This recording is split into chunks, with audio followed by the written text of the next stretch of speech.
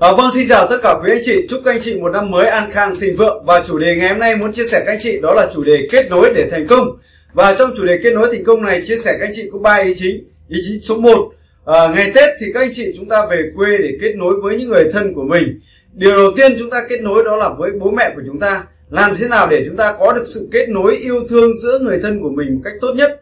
Điều đầu tiên tôi muốn chia sẻ cho anh chị là sự kết nối giữa người thân làm thế nào để chúng ta kết nối với chính bố mẹ, ông bà, những người thân ruột thịt của chúng ta? Cách kết nối tốt nhất là chúng ta hãy bắt tay vào một cái ôm thật ấm áp cùng với những lời chúc tốt đẹp nhất cho người thân yêu của mình. Chúng ta tạo sự yêu thương.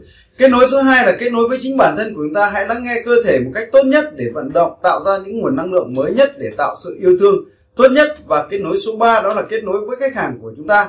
Hãy kết nối với khách hàng của chúng ta bằng cách nào? Hãy gửi tin nhắn chúc tết cho những ngày đặc biệt vào ngày lễ Tết này, hãy gửi tin nhắn, ít nhất 3 tin nhắn. Chúc những lời tốt đẹp nhất để kết nối với khách hàng.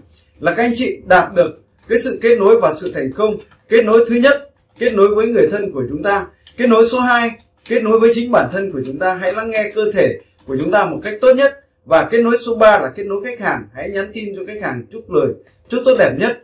Chúc các anh chị có những kết nối yêu thương và thành công nhất trong năm 2023. Hẹn gặp lại các anh chị ở những video tiếp theo.